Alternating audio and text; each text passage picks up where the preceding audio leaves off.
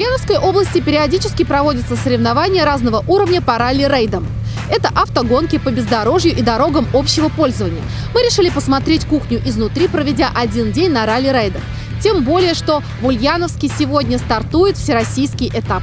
Первая гонка сезона 2019 прошла в Ульяновской области с 7 по 8 декабря. Она получила статус первого этапа Кубка России по ралли-рейдам и первый этап регионального чемпионата холмов России. Соревнования состояли из двух этапов. Первый участок – зрительская 4-километровая дистанция. Второй – на закольцованной трассе в 30 километрах от Ульяновска, рядом с селом Солдатская Ташла. Общая дистанция превысила 250 километров. Покрытие снег, грунт, дороги лесные и полевые.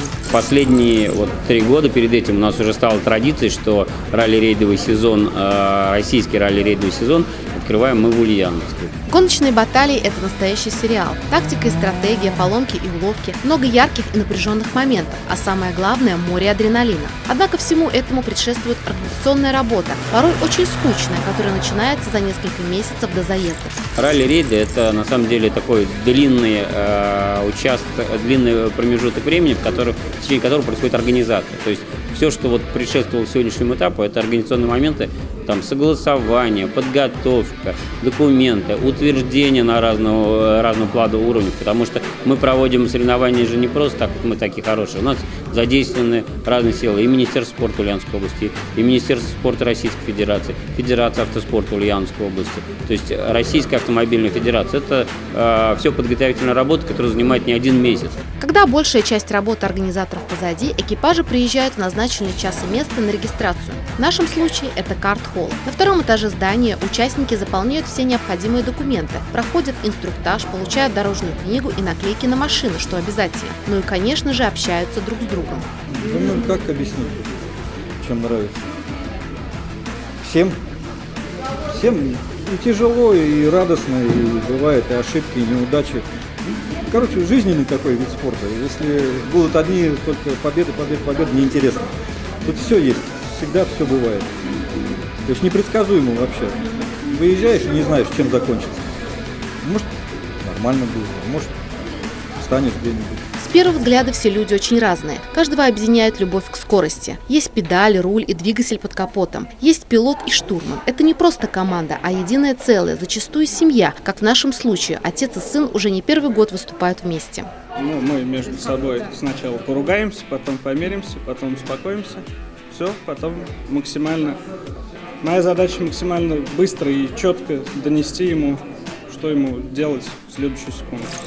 Нет времени на суету и неразбериху, все идет четко. Сразу видно, что схема давно отработана. За определенное количество времени всем экипажам нужно пройти технический осмотр автомобиля и медицинское освидетельствование. В первую очередь мы смотрим на оборудование безопасности. То есть это спортивные сиденья, это спортивные ремни и защитные каркасы, которые, соответственно, призваны защищать э, наших спортсменов от каких-либо повреждений в случае неудачности каких-то на трассе. Они вот какие-то есть нормы, какие они должны быть? Если больше или меньше, то вы как отправляете на доработку или как? Ну, конечно, нормы есть. Э, есть нормы и по сиденьям, и по ремням, и по каркасам безопасности. И, соответственно, мы смотрим э, на то, чтобы все эти элементы были без повреждений. Ралли-рейды – один из самых травмоопасных гонок в мире, поэтому при техническом осмотре машин особое внимание уделяется безопасности гонщиков. Сложность ралли-рейдов вызвана еще и спецификой маршрутов. На трассе нет никаких зон безопасности, никаких бетонных заборов, отделяющих пилота и зрителя от дороги, по которой несутся автомобили. Мы сейчас заставляем всех, чтобы они имели малогерные костюмы, шлема, белье, то есть прийти в соответствии с всероссийскими соревнованиями.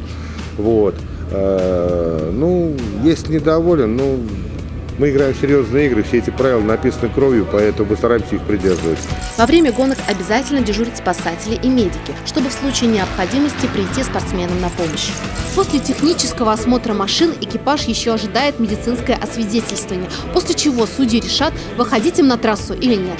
Для нас, журналистов и приехавших на точку зрителей, рев и жар моторов главное, остальное второстепенно. Как здорово, когда внедорожники проносятся мимо тебя на расстоянии вытянутой руки. Ощущение причастности к чему-то великому стоит дорого. А еще дороже в материальном плане стоят некоторые автомобили, участвующие в гонках.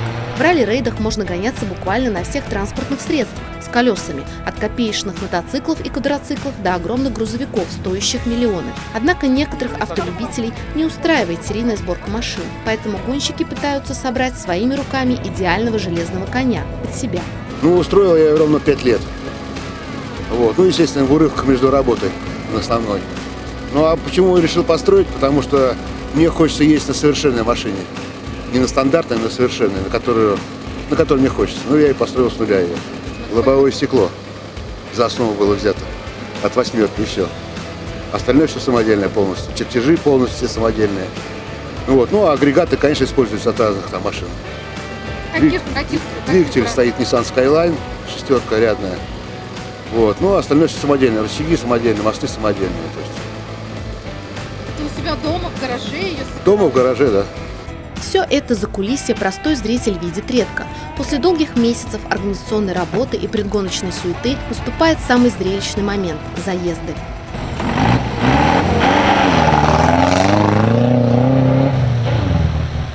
Задача каждого экипажа, состоящего из пилота и штурмана, как можно быстрее по времени пройти скоростной участок по строго определенным маршрутам и нескольким контрольным точкам. Четко обозначенной трассы в привычном понимании нет. Автомобиль может пройти чуть правее или левее, вообще отклониться от курса и вернуться на предыдущую контрольную точку. В ралли-рейде побеждает тот экипаж, который пройдет все участки заезда за наименьшее суммарное время. А это, судя по практике, сделать очень трудно. Сидя дома и смотря по телевизору ралли-рейды Дакар, Шелковый путь, Холмы России, трудно представить себя в составе экипажа, проходящего не одну сотню километров по бездорожью. Однако ралли-рейды – это не закрытый спорт, и сегодня я это докажу. Угу. Это мой размерчик. От организаторов мой адрес поступило предложение стать штурманом одного из экипажей. Соглашаюсь незамедлительно и радостно бегу в раздевалку, чтобы почувствовать себя настоящим участником гонки. Тщательно выбираю костюм по размеру и переодеваюсь. Ну, вот теперь я готова стать настоящим пилотом ралли-рейда. Чтобы поучаствовать в гонке, главное желание. Также нужно уметь водить автомобиль, пройти определенную подготовку по экстремальному вождению, получить лицензию. Ну, естественно, тренироваться и изучать правила участия. В идеальном случае можно иметь знакомых или друзей, которые уже варятся в этом. Так будет проще разобраться в деталях. Последние два года э, наметилась тенденция по увеличению количества участников, особенно в национальном классе. И это не может не радовать, потому что приходят молодые ребята, может быть, не в том объеме, в котором хотелось бы, но вот, например, наша команда пытается поддержать. За последние два года мы вывели на трассу три экипажа. Права у меня есть, опыт вождения автомобиля тоже, да и желание сесть в настоящую гоночную машину хоть отбавляй. Прохожу краткий инструктаж по технике безопасности, получаю на руки маршрут. Дорожная карта выдается всем экипажам накануне вечером. И, в принципе, достаточно времени, чтобы ее досконально изучить. Здесь написано, сколько всего этапов, сколько по времени длится, сколько по километражу. Здесь идет информация о безопасности, дальше информация про аварийную процедуру. И самое главное, это вот идет уже такая таблица. Соответственно, здесь идет начало гонки, 0,0 получается метров километров. Через 290 метров идет первый поворот направо. И здесь, соответственно, он прописан в виде вот такого вот значка. Физически почти любое соревнование сложно, и ралли-рейд не исключение. Тут, конечно, тоже есть особенности. Дистанции могут быть разными, но даже короткие гонки способны выжать из человека все соки. Нередко гонщики приезжают на финиш мокрыми насквозь. Волнение на старте, рев мотора, бешеная скорость, шум ветра в ушах, резкие заносы на поворотах, ухабы, ямы, горки. Специально построенные трассы или подготовленные участки отсутствуют, только пересеченная местность и обычные дороги.